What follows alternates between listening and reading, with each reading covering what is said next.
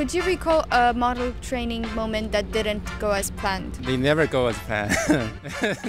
Everyone who trained a model has war stories. We asked top researchers to share theirs. yeah, I'm XJ, and uh, I'm part of the Amazon AGI SF lab, and my focus is uh, RL for LM agent.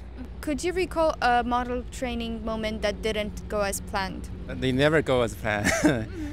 and uh, rollout generation inference time compute, and that basically introduce a lot of complexity there. You know, a very long running rollout, uh, timeout, and uh, causing the you know the model training to not work or break or you know not work efficiently. So it's definitely not a challenge there. What are typically some of the first things your team looks at when uh, things go sideways? Maybe there's any specific anomalies or things you're particularly looking at.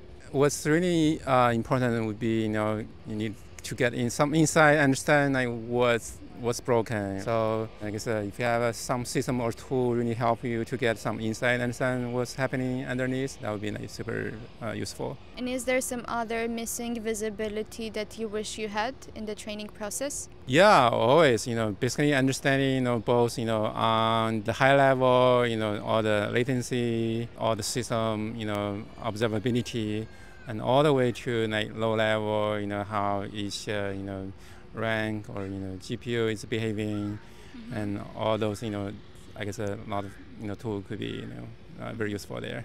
And is there a particular set of metrics that you're especially keeping an eye on to ensure training stability? GPU utilization and uh, your you know latency, average latency, uh, but uh, also be uh, useful to understand not only the average but also you know some of the long tail uh, that's often causing the problem. So basically, really more fine grain, uh, fine grain, uh, you know, you know metrics, you know, for how all the different worker you know behave.